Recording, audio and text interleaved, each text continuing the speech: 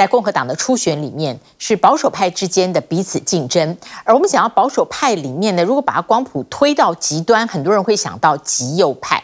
德国有好多城市同时间在周日这一天发起反对极右派，就是另类选择党的大示威，百万人上街，他们拿着反纳粹的标语，要求政府禁止另类选择党。德国媒体在调查之后披露。另类选择党呢，跟新纳粹这些极端组织密会，他们讨论推动回迁的政策，意思就是呢，这个极右的政党计划大规模的驱逐他们口中所谓血统不纯的选民，包括不是土生土长，他们呃标签的是叫做没有被同化的德国人。消息一出，全德国哗然。德国总理肖兹也公开声援民众的示威，网络上连署的有七十万人，要求禁掉这个另类选择党。而德国的保守派政党也计划推动立法支持。德国多个城市周日发起反极右派另类选择党的示威运动，包括柏林、慕尼黑和科隆，甚至连另类选择党的东部大本营城市也聚集了数十万抗议者。他们手拿反纳粹标语，要求政府禁掉另类选择党。Ich denke einfach daran, was passiert ist und dass das nie wieder passieren darf, dass Nazis, das Rechte und das ähm, Faschisten in irgendeiner Form an die Macht kommen und wir sind gerade schon auf einem ganz 另类选择党是极度排外的政党，德国政府原本就以保护宪法为由密切监控。近日，德国一家网络调查媒体披露，另类选择党、新纳粹主义以及其他极端组织进行密会，讨论推动回迁政 策，计划大规模驱逐移民。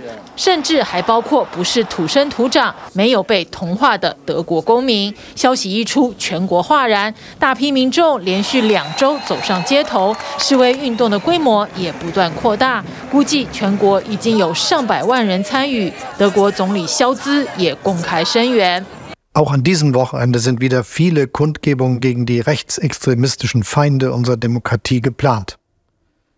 Ich finde das richtig und gut.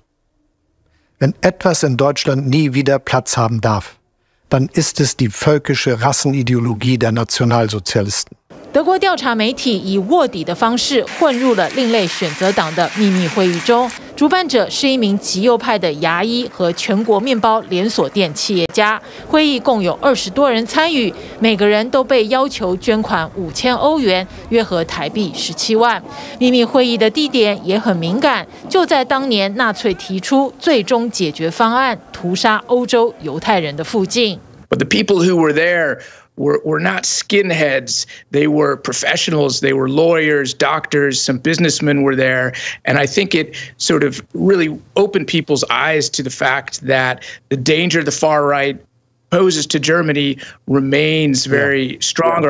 另类选择党目前的支持度已经跃居全国第二，民众对于移民不断涌入的焦虑感是他们壮大的主要原因。den weltoffenen Charakter unseres Landes erhält, aber die illegale Migration in unseren Sozialstaat unterbindet. Genau eine solche kommt jetzt.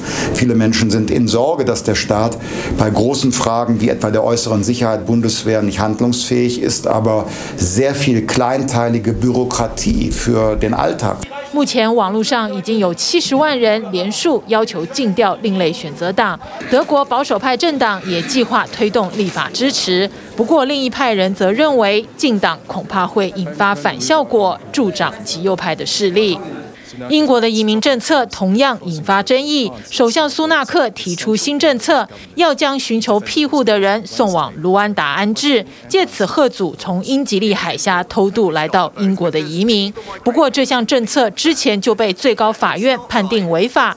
执政的保守党内部也出现反弹声浪。上周三，苏纳克不惜赌上政治前途，力阻保守党内的倒戈，让法案闯关成功。It is important that we stop the boats because illegal migration is simply not fair, Mr. Speaker. It's not right that some people jump the queue, that they take away our resources to help those who are the most compassionate, that need our most help. 法国也推出了严格的移民政策。去年十二月中通过的新法，限缩了移民福利，并延迟房屋津贴。周日有近两万五千人聚集在埃菲尔铁塔前抗议。moi, par exemple, j'ai travaillé.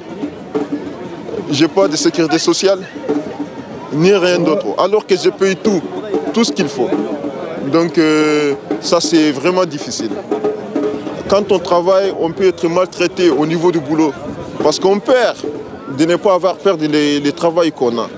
法国一向对自己的福利系统感到自豪，认为法国是世界上最慷慨的国家之一，因为就连外国人都可以享有房屋和孩童照顾津贴。